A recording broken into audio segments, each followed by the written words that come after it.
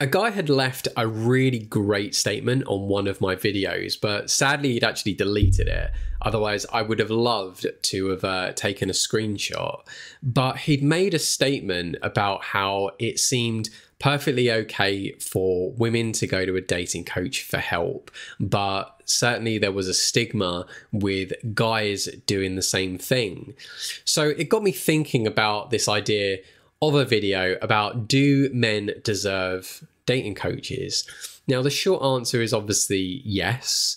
Um, I think if any guy is struggling, or man or woman is struggling, then it is absolutely okay for them to seek help with whatever it is in their life.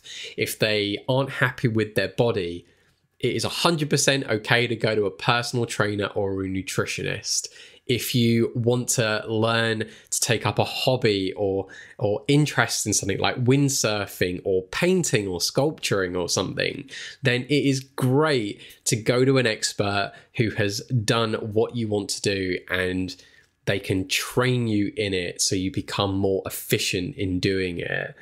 And even with dating, there are plenty of coaches out there who have been through the journey that you're probably struggling with now, or someone that you know, and they have been able to do this 360 transformation on their lives. And now they are having a dating life that they are either really happy with, or they've been able to find a life partner or relationships that they want to see where it goes or settle down.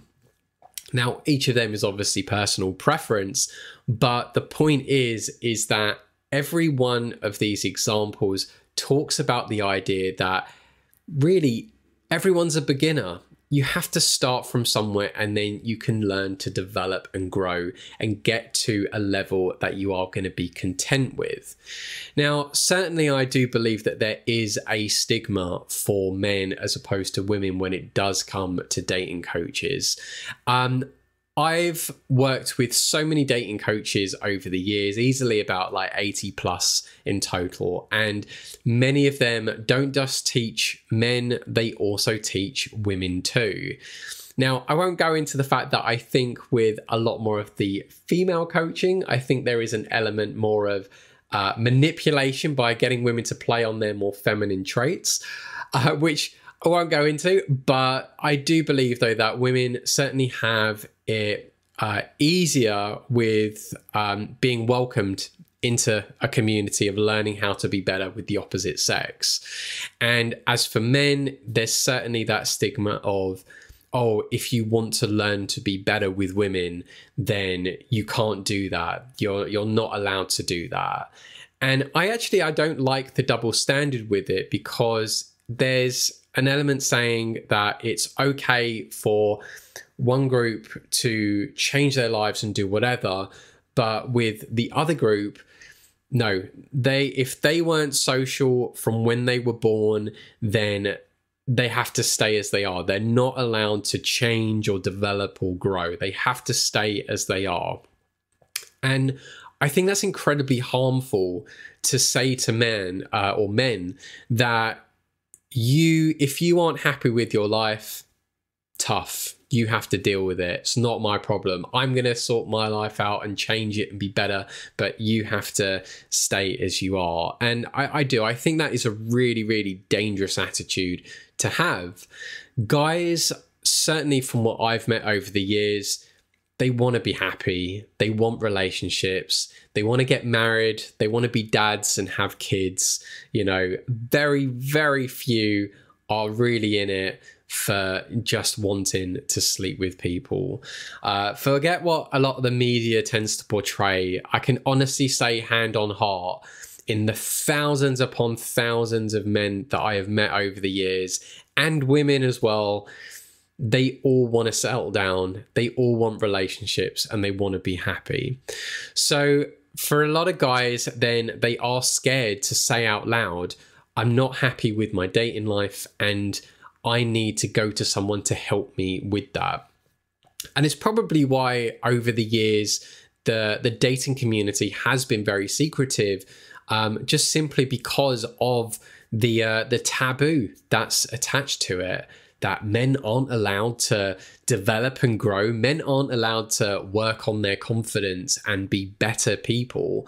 And um, unfortunately, you know, to be able to develop and grow, you have to learn to talk to people. You have to learn to talk to strangers and stuff, which is why, you know, guys 100% need to remove this stigma and be okay with the idea that if they aren't happy with their dating life or just social life as well, then it is perfectly fine to say it out loud to people and even go to a coach or therapist about it and definitely uh, a dating coach at that.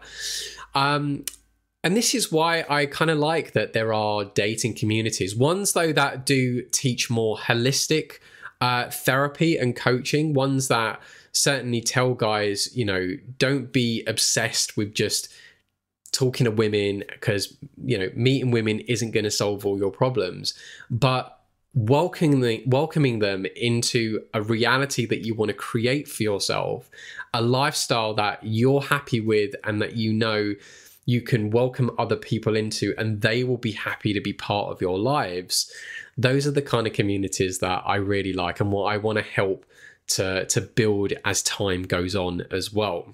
So overall, I don't want guys to feel ashamed that they aren't happy with their dating lives because so many men around the world are certainly struggling in that area and they're also struggling with their self-esteem, their confidence. Everyone tends to feel lonely, especially since the lockdowns everyone is going through the same struggles, but no one wants to communicate that to each other because they're worried that that is seen as a sign of weakness.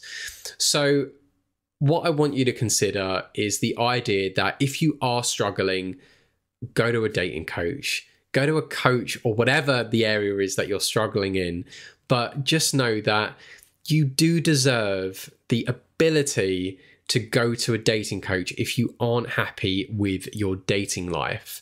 No one can tell you no except you, as far as I'm concerned. If you're struggling with your dating life, go to a dating coach, and I promise you, you will certainly get the results that you want, or at least take that initiative and take those steps forward where you can practice being more sociable, develop your confidence, and you know, Rome wasn't built in a day you're not going to get the most amazing life changing results in a week, but you can at least give yourself that momentum that maybe in six months to a year, your life could be in a very different place. So do also try and think ahead to the future of like, you know, if with what you want for your dating life now, then consider where do I want to be in a year's time with my dating life? Because if you don't do anything about it, then it won't change.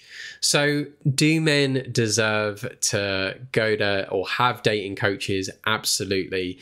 If women are okay to seek help and guidance from others with their dating life and definitely go to dating coaches to help them find their husbands or long term relationships or even just have uh, a much more um, energetic dating life, shall we say, then 100% guys deserve it too. So, if you are interested in coaching, absolutely, I can give you recommendations on dating coaches that you should consider because there are so many around the world uh, that I have worked with and ones that I know of that I can point you in the right direction of.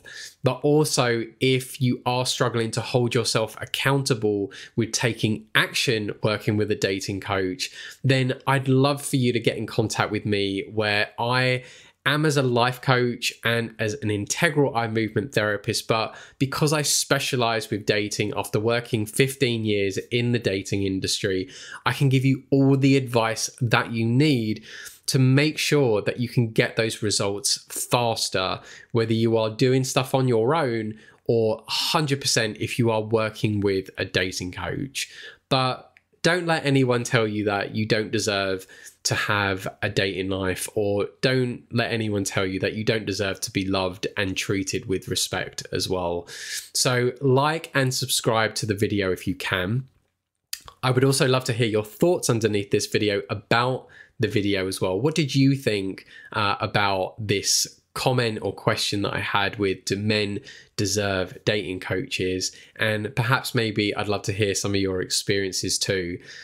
Till the next video, though, I hope you enjoy the rest of your day and look forward to more videos coming soon.